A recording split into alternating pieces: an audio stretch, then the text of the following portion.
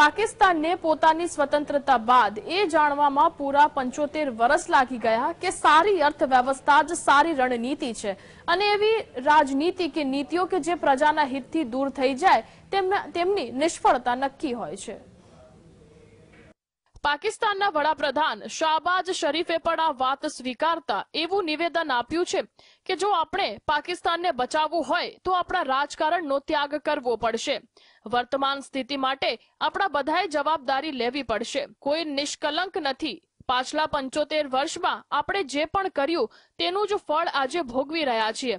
પાકિસ્તાનના વડાપ્રધાન શાહબાજ શરીફ અને નાણામંત્રી હામિદ યાકુબ શેખ અર્થવ્યવસ્થાને પુનર્જીવિત કરવા માટે આઈએમએફની તમામ શરતો માનવા તૈયાર છે.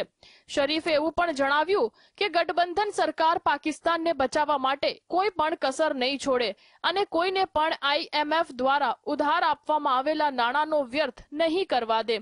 ઉદાહરણ તરીકે પાકિસ્તાનને પાવર પર સબસિડી પાછી લેવાની જાહેરાત કરી છે. Bureau report GS